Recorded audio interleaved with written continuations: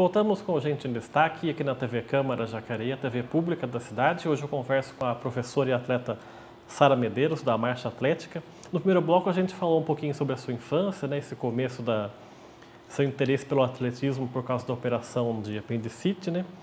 E, e, e nessa transição que a gente estava comentando do atletismo para a marcha, a marcha atlética, você optou por, pela marcha atlética exatamente pelo Brasil ter poucos representantes e você poder é, disputar mais campeonatos? Como é que foi essa sua escolha específica?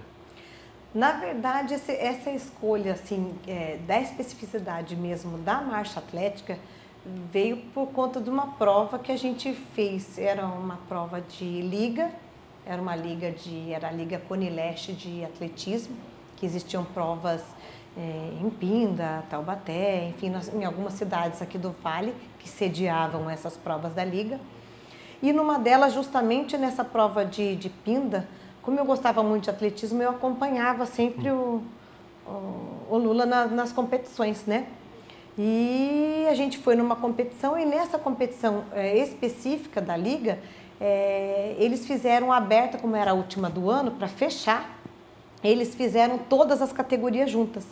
Então foi pré-mirim, foi mirim, né? E o infantil e, e o adulto também. E, e numa da, na, na, tava chegando nas últimas provas de tardezinha e a, nós estávamos a um ponto de São José dos Campos, né? Para ser campeão geral. E daí o até falou, nossa, falta um ponto. Nós estamos ali, é, né? É. brigando ali com o São José para ser campeão do campeonato da Liga. E aí ele falou assim: Ah, você vai entrar nessa prova aí. Eu falei, gente, mas né? a gente na faculdade vê várias coisas de atletismo, tudo. Eu falei, mas marcha? Marcha a gente viu teoricamente, né? Nada assim prático. Eu não sei marchar. Ele falou: ah, vem aqui que eu vou mais ou menos mostrar como é que é. Aí ele, ali mais ou menos mostrou como é que era. Ah, é, é peguei e falei, mas gente, eu não vou conseguir, eu vou ser desclassificada. Ele, mas pelo menos a gente tentou. É. Entra lá e porque justamente por ter poucas pessoas, é, ser pouco divulgada, na marcha tinham, acho que, se não me engano, seis meninas para marchar. Só de você completar a prova, você faria o ponto. Exatamente. Eu precisava só terminar. Era 3 mil metros. Nossa. 3 quilômetros, né? E acabou que, ah, vamos lá. Se eu tiver que só terminar, mesmo que eu termine em último, eu vou conseguir o ponto. Tá valendo, né? Para ajudar a equipe, vamos. Aí fui. Na verdade, na verdade, naquela prova, eu tomei duas voltas da penúltima colocada, né? E, mas terminei a prova, é. consegui o ponto e acabou que o Jacareí foi campeão da liga nesse ano. Mas depois aquilo veio, né, a criançada, todo mundo, né, festejando porque Jacareí conseguiu tal. E todo mundo, aí, eles né, me chamavam, a tia Sara conseguiu, a tia Sara conseguiu, lá por causa da marcha, não sei o quê. Quase que foi desclassificada, mas como eu estava em último e tinha tomado duas voltas da penúltima, os hábitos até foram mais complacentes também, né? Mas aí eu peguei e falei, não quer saber? Agora eu vou aprender a fazer isso aí. Agora eu vou. De tanto que eles começaram a falar na, na, na minha orelha, eu falei, não, vou, vou aprender a fazer isso aí, agora eu vou competir a marcha mesmo. E realmente, mesmo nas competições que a gente vai em. Eu participei de competições na federação, troféu Bandeirantes, tudo. Tem marchadores sim, mas a gente vê que são, é, é um número bem menor é. do que outras provas que a gente vê aí no atletismo. Né? E foi difícil para você é, se adaptar às regras da marcha atlética quando você estava começando? Então, a, a, adaptação da marcha é uma adaptação meio, meio difícil mesmo, porque na verdade, a, ao contrário do que é, a maioria das pessoas pensam, não é a marcha não é uma caminhada rápida, é. porque caminhar e correr é, são movimentos naturais, né, do ser humano, né? Caminhar, correr, saltar, né? Lançar, são é, é, movimentos naturais do, do, do, do, ser humano. A marcha específica não é um movimento natural, é um movimento que você tem que é, aprender e treinar, porque ninguém anda por aí com o joelho hiper estendido.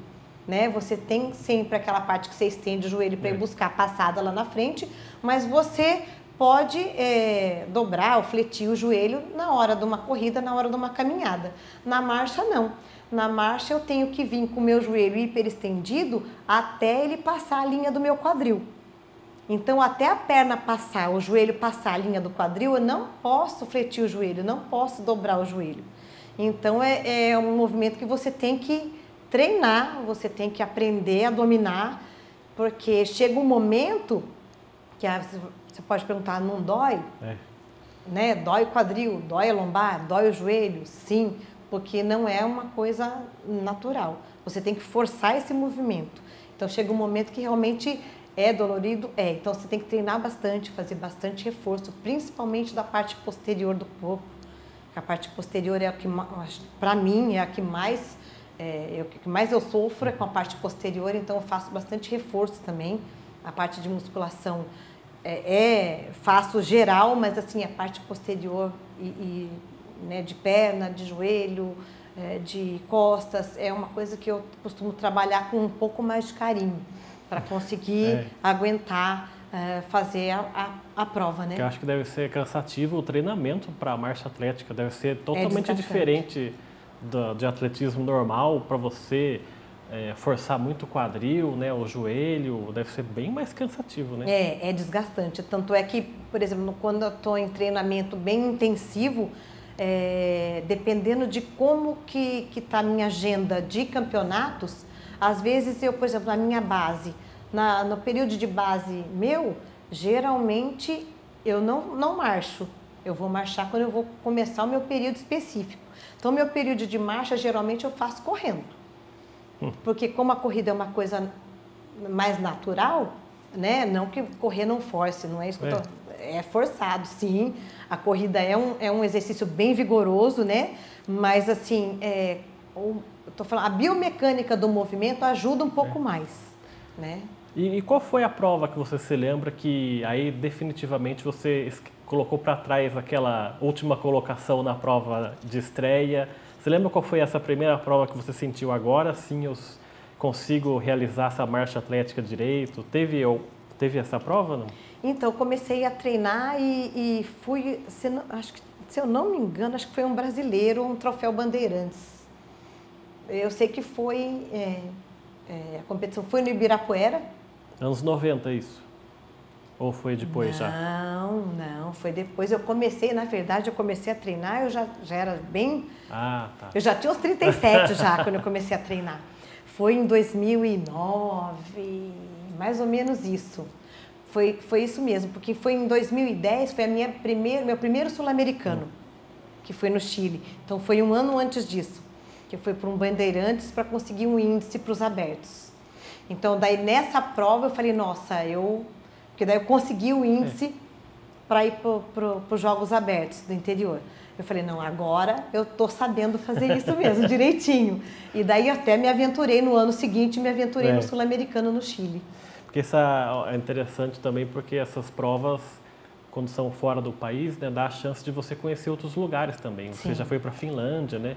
Já foi para a Hungria também disputar prova. Isso. Como é que é essa experiência de você ao mesmo tempo que vai disputar, né, representar o nome do Brasil fora, mas também ter essa cultura de conhecer outros países. Dá tempo de dar uma passeada por ali ou nem dá tempo?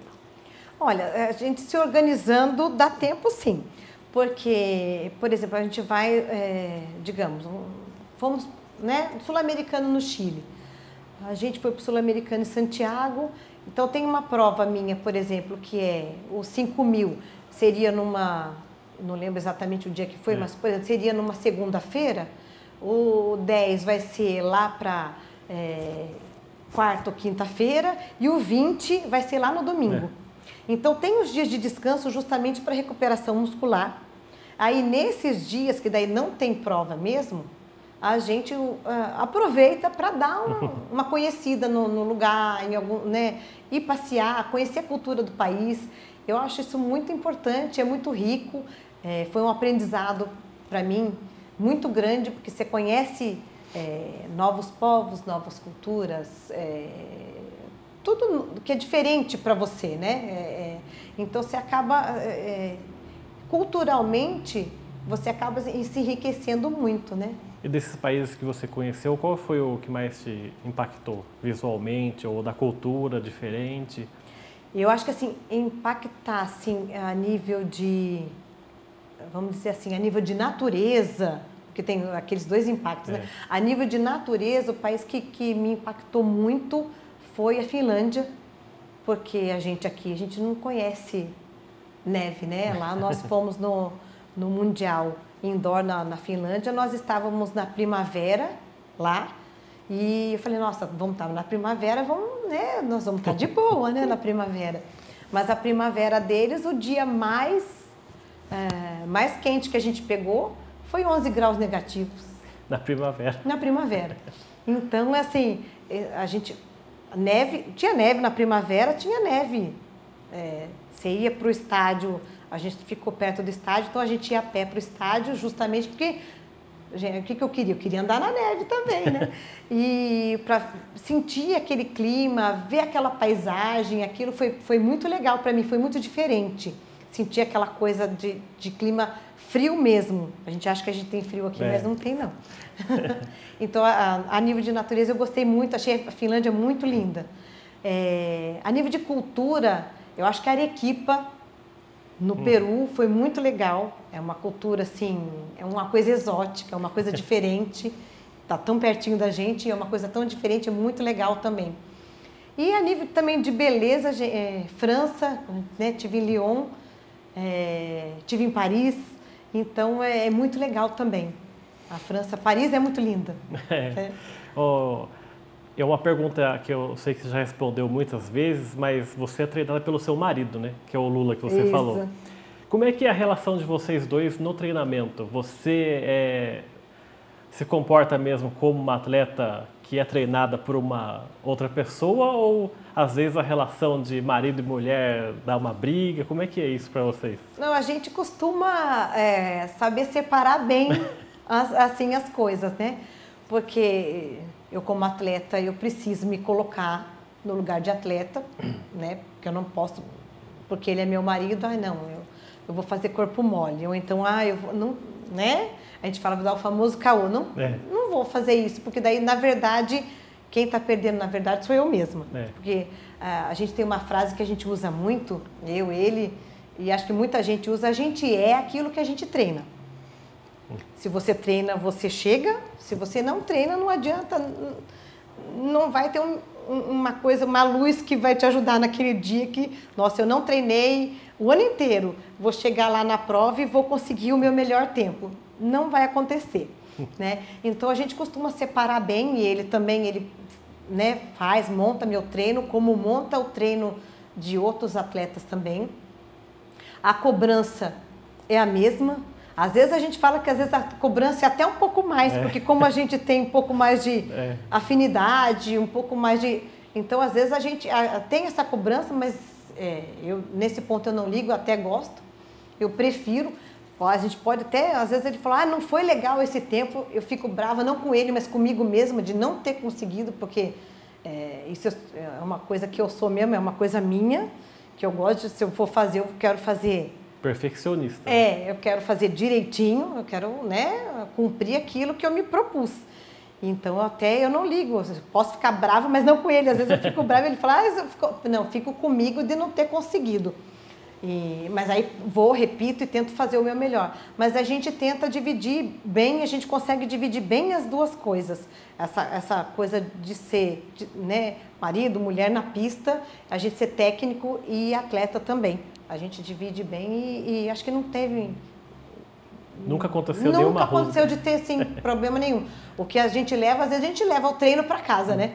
Nossa, eu fiz tal coisa, mas. É, eu achei que ali naquela curva eu não tava, não foi legal, o meu ângulo, ah não, realmente essa angulação ali da perna não estava boa. Então às vezes a gente leva para casa, mas a nível de estar tá, é, crescendo e não a nível de estar tá cobrando um do outro, na verdade. Tá certo, a gente vai fazer então mais um intervalo aqui. O programa Gente em Destaque volta daqui a pouco. Até já.